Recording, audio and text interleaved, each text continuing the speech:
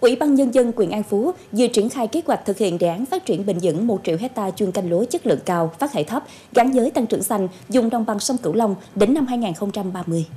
Theo đó, huyện An Phú đề ra mục tiêu thực hiện từ nay đến năm 2030 là 10.050 ha, trong đó giai đoạn 1 đến năm 2025 tập trung thực hiện ở các xã thị trấn đã tham gia các dự án chuyển đổi nông nghiệp bền vững VNSAT, dự án chống chịu khí hậu tổng hợp và sinh kế bền vững đồng bằng sông Cửu Long, dự án WB9 với diện tích đạt 2.700 ha. Đến năm 2030, nhân rộng diện tích dùng dự án chuyển đổi nông nghiệp bền vững VNSAT trước đây đạt 10.050 ha, có ít nhất 6.000 hộ nông dân áp dụng quy trình canh tác bền vững.